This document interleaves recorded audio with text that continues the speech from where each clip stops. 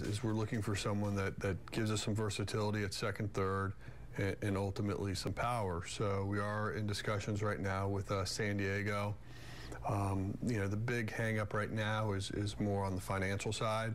We are willing to part with Jon Jay, but um, the, the player we have identified in, in Jedd Gyorko has a lot of money still remaining on his contract. He played better in the second half last year. He also played shortstop, which prior to that, it wasn't clear that he could he could handle shortstop, and he showed that you know in a pinch he can be your shortstop for for a day or two here and there, or you know fill in during an injury, and and so it only added to sort of the way we looked at him and and, and how he would fit with us. The other thing I, think on this deal is is the ability to move Jay. You know, it's something that I think he was concerned about of, of his future playing time. And when you look at, at how our outfield is, is shaping up, and, and, you know, candidly, just how it ended last year, getting him uh, regular bats was difficult. And, and so I think this is going to be a good spot for him if we can pull this off.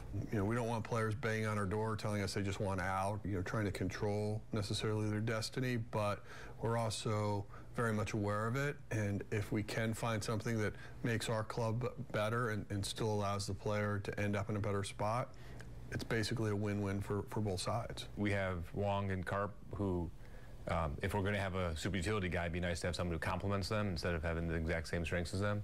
Uh, as Mo mentioned, a little bit of power would be nice too.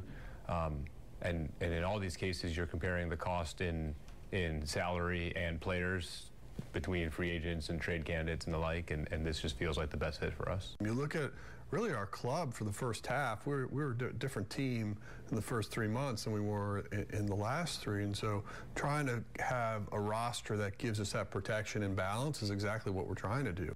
Obviously, we, we want to try to figure out a way to close this deal, and, and that'll be what we focus on tonight and, and, as we go through dinner.